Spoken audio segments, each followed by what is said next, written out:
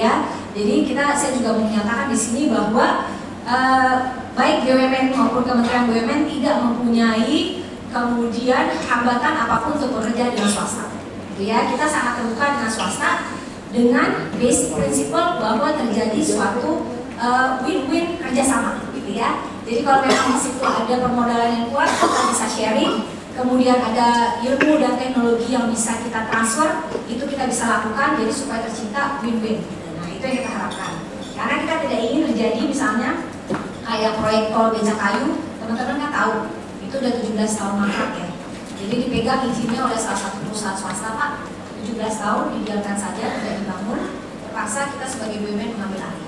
Ya, dan sekarang dilakukan adalah karena BUMN juga kemudian melakukan percepatan pembebasan lahan, itu membuat kemudian proyek-proyek jalan tol ini bisa berlari dengan lebih kencang.